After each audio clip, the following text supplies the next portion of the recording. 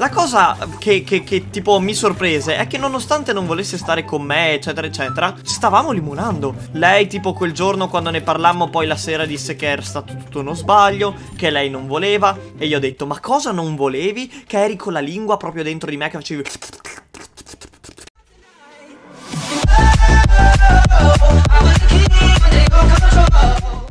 Hola, eccoci tornati ragazzi. Per quelli di voi che già dicono Eh ma porti solo questo ormai No, devo riprendere a portare i video di Fortnite Anche quelli classici, non solo questi Ma per quelli di voi invece che amano questo tipo di video Molto presto ne uscirà un'altra serie parallela Che sono formati di video tipo questo Ma che parlano anche di altri argomenti Bullismo, big money e altre cose Diciamo della mia vita passata Su cui posso darvi magari qualche consiglio in più. Anche la temuta friendzone Di cui sono stato colpito.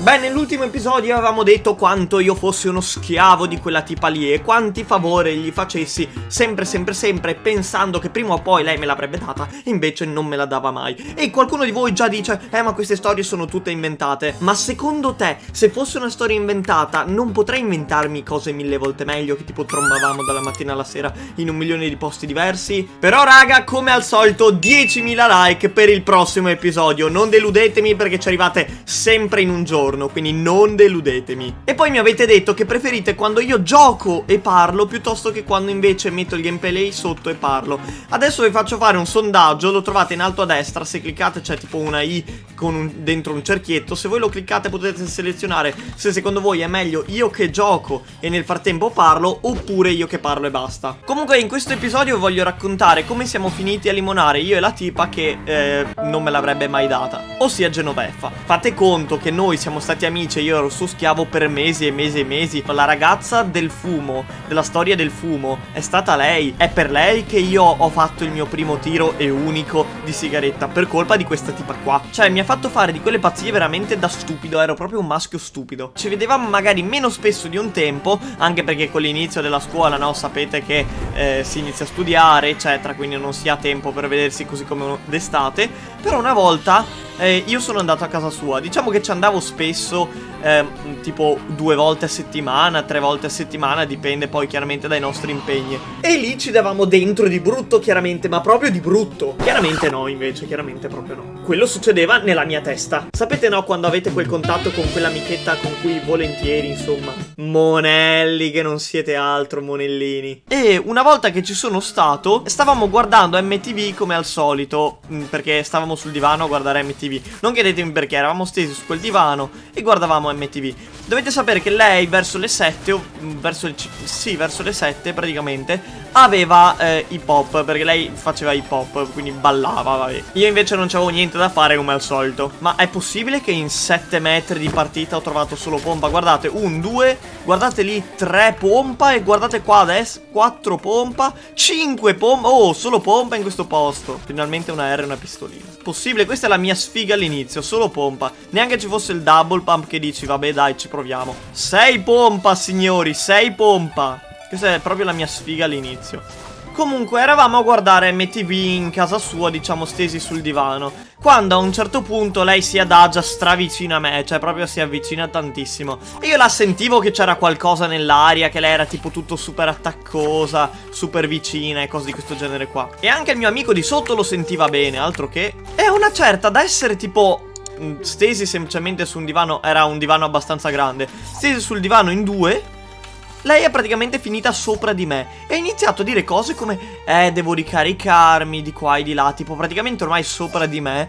E lì Oh, io me lo ricordo benissimo, era l'8 ottobre, l'8 ottobre del 2016 può essere comunque quando io ero in prima superiore, l'8 ottobre di quell'anno lì, noi abbiamo limonato, ma proprio, cioè quando lei mi disse devo ricaricarmi, era praticamente sopra di me, io l'ho presa e l'ho limonata, intanto siamo a 7 pompa, qua vorrei dire, la cosa che, che, che, tipo mi sorprese è che nonostante non volesse stare con me, eccetera, eccetera, stavamo limonando. E non posso dire, eh, lei non ci stava, eccetera, perché ha preso la lingua e l'ha infilata nella mia bocca, altro che io ci sono andato piano inizialmente perché avevo quel, la paura del rifiuto e quindi tipo cioè, l'ho baciata ma molto velocemente, cioè, proprio tipo sì, una roba toccata e fuga, ma lei praticamente mi ha, mi ha ritratto e praticamente mi ha infilato la lingua in bocca. Ed è stata quella roba lì che io ho detto, ma scusa, ma allora ce l'ho fatta finalmente. Allora finalmente sono uscito dalla friendzone. Il tutto però è durato solo 30 secondi Che in realtà sono anche tantini eh. Cioè non posso lamentarmi di 30 secondi di limone. Però semplicemente lei fa no stiamo sbagliando bla bla bla. E quindi tipo dopodiché eh, ci, siamo, ci siamo staccati.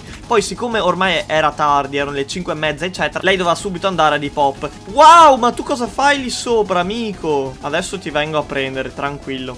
Wow quanta roba inutile e lei doveva andare via, io poi torno, tornai a casa. Se sei arrivato fino a questo punto del video, penso che i miei video ti piacciono, quindi ti chiedo semplicemente il favore di iscriverti, di attivare la campanella e se ti piace il video fino a questo punto di lasciare un piace. Non ti costa nulla e diventerai un vero connessionato puro, di quelli puri al 99,9%. Parola di Roberto Carlino. Ma quel bacio mi fregò una vita perché scusatemi, cioè quando una tipa vi limona vuol dire che praticamente ci sta, io mi sono detto ma cavolo ma ci sta allora cioè nella mia testa ancora il concetto Cioè il concetto di ci baciamo vuol dire che siamo fidanzati Non esisteva il concetto di limoniamo tanto per così così E quindi il tutto mi fece rimanere un po' fregato capite? Guardate un pompa, due pompa No no sta partita è solo pompa praticamente Raga questo è Questo è Stare dentro la testa del tomato per raccontarvi le robe, questo è. Non so cosa succede se scendo.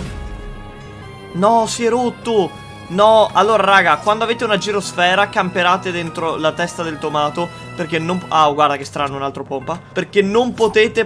Un altro pompa, wow, che magia Oh questo mi sembra il posto perfetto per raccontare una storiella. Quel bacio mi fregò una vita proprio perché io pensavo Cavolo, ma adesso stiamo insieme? Non esisteva il concetto di limonare tanto per a caso. Tipo, torno a casa strafelice Basta, ormai la mia vita è completa Limoniamo una vita, siamo proprio fidanzatissimi eccetera. In realtà lei non la pensava così. Lei tipo quel giorno quando ne parlammo Poi la sera disse che era stato tutto uno sbaglio Che lei non voleva E io ho detto, ma cosa non volevi? Che eri con la lingua proprio dentro di me che facevi e lei diceva che non lo sapeva perché l'aveva fatto, perché qua, perché di là, e perché destra, e perché sinistra, insomma le solite robe che le femmine dicono. Cosa ne pensate della nuova mimetica lava? L'ho shoppata oggi col codice OTPFI veramente, chiaramente che vi invito a utilizzare, tanto è gratis. So, so, che non utilizzate nessun codice, quindi mettetelo il mio per favore, per favore ve lo chiedo. E ricordatevi che ogni 14 giorni il codice si toglie, quindi assicuratevi di riaggiornarlo. Cioè io non so se voi vi è mai capitato di essere in una situazione dove non capite se una tipa vuole stare con voi oppure no, perché i suoi,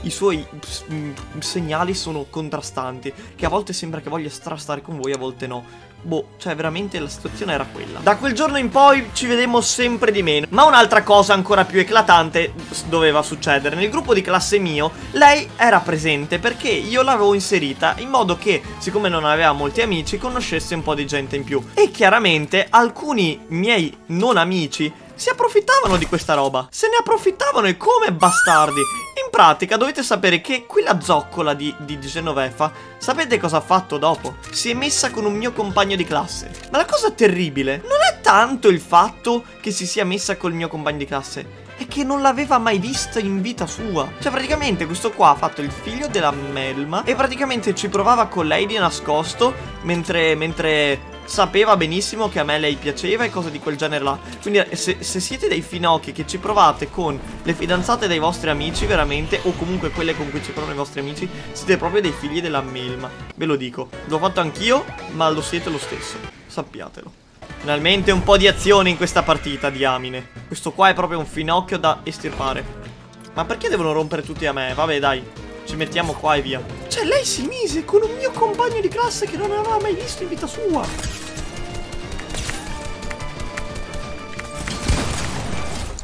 Distrutto, signori. Distrutto proprio. Distrutto è la parola esatta. Distrutto. Devastato. Ci ho provato, amici. Che poi quel mio amico, cioè, alla fine loro due si sono anche lasciati, chiaramente, dopo non tantissimo. Però io, cioè, veramente ce l'avevo con lui una vita. Doveva morire male. E voi vi chiederete, ma quando tutto questo finì? Praticamente quando una ragazza prese il telefono di Genoveffa, una sua compagna di classe, glielo prese e iniziò a rispondere lei al posto mio. Io la odiavo quella ragazza Cioè veramente mi rompeva sempre perché rispondeva malissimo eh, Tipo ci odiavamo a vicenda Eravamo tipo cane e gatto Tipo Tom e Jerry E ragazzi, quella ragazza lì era latina.